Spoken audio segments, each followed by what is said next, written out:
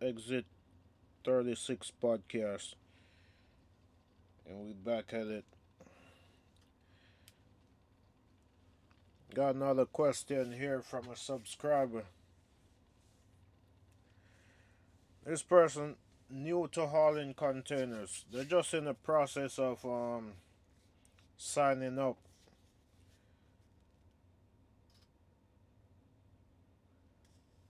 In the process of signing up. I'm not sure if they're signing up with a carrier, they're leasing on to a carrier, or going as a company driver, or they have their own carrier and they're just signing up with a port. Okay, so Okay, so what they want to know is do you need an appointment to go in the port?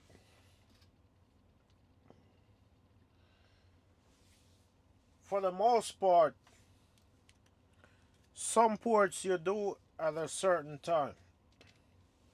Some ports you don't need an appointment most of the smaller ports you don't really need an appointment but the bigger ones like um on the APM I deal with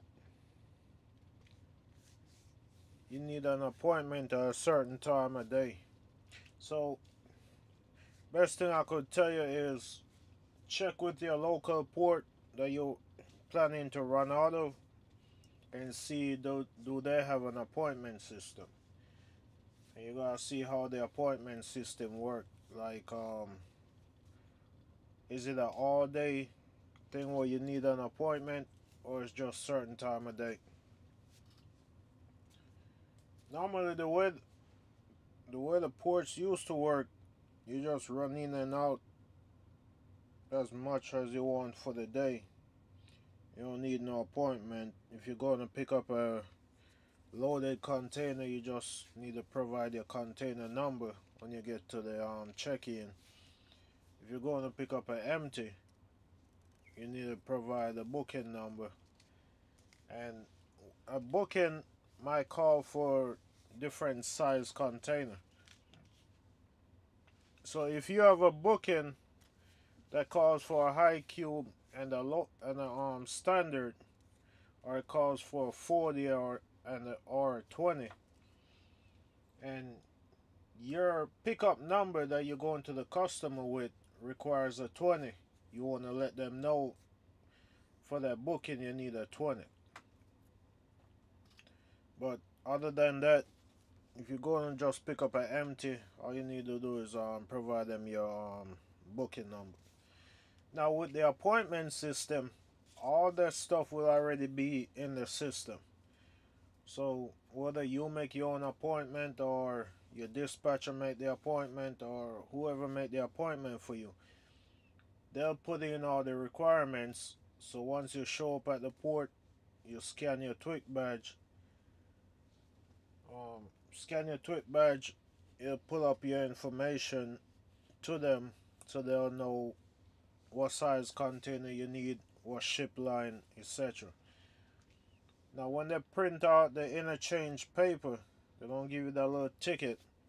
You wanna double check that. Make sure it match up with what you're supposed to get. Sometimes your dispatcher might not give you the booking number.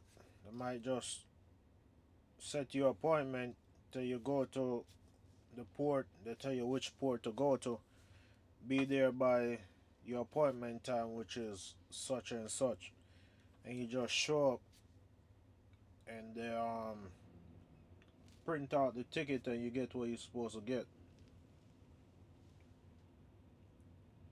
But always try always ask your dispatcher for the information also. That way you have it. Ask them for your booking number, the ship line, stuff like that if you're gonna get it empty. If you're to get a load, ask them what's the container number. Because sometimes you might get there and for whatever reason, they're still asking you what, what, what you're supposed to be picking up. I see it happen before. It, it, as a matter of fact, it happened to me this morning when I went to the port to pick up my load. when I scanned my TWIC badge, they asked me if I was there to just pick up a chassis. I was like, no, nah, I'm here to pick up a um, loaded container. So once I tell him that, he look it up in the system. He see which con which um container was there to get. So the appointment system, a lot of times it's fast. It's faster because once you get there and scan your TWIC badge, um, they verify you by your um, your fingerprint. The system automatically start processing you. Now, if you don't have an appointment, so for example, if the port don't require an appointment, or if you get there at the time when you don't have to have an appointment, you could just show up. Um, once you scan your TWIC badge, um, scan your fingerprint, then you're in the you're in line. When they get to you, they'll ask you what you're there to do they'll ask you for your um your SCAC code and they'll manually process you so even the time when you don't need an appointment I'll still recommend that you set an appointment.